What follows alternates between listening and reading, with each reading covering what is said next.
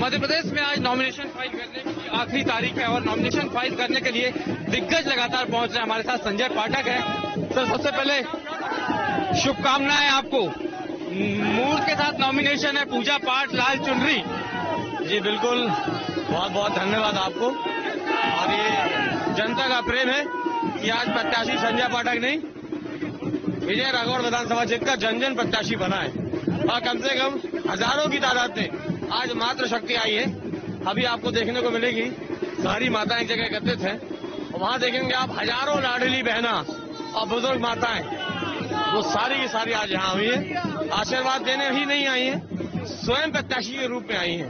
तो मेरे लिए बड़ा सौभाग्य है कि आज बिजरावड़ा विधानसभा क्षेत्र का चुनाव संजय पाठक नहीं बिजरावड़ा का जन जन लड़ रहा है। जनमत तो आप पहले ही हासिल कर चुके हैं। आपने खुद ने सर्वे करवाया है। अब अभिमत की तरफ़ बढ़ रहे हैं।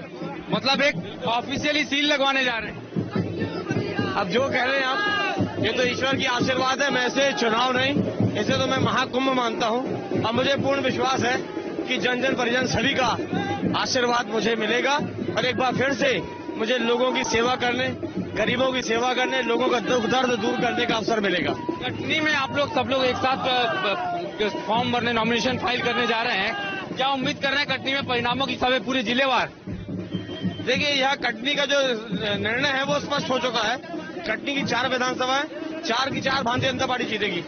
ये संजय पाठक हैं, जो नॉमिनेशन फ़ाइल करने यहाँ पहुँचे हैं। एक बार मैं समर्थकों का हुजूम आपको दिखा देता हूँ। यहाँ पर जो समर्थक उनके मौजूद हैं, काफ़ी बड़ी संख्या में यहाँ पर जो समर्थक हैं, उनके काफिले के साथ संजय पाठक यहाँ पर आए हुए हैं और उसके बाद में यहाँ से वो नॉमिनेशन फ़ाइल कर रहे हैं। कैमरामैन हरी के साथ अनुराग मालवीय ने ट्वेंटी फोर सेवन कटनी।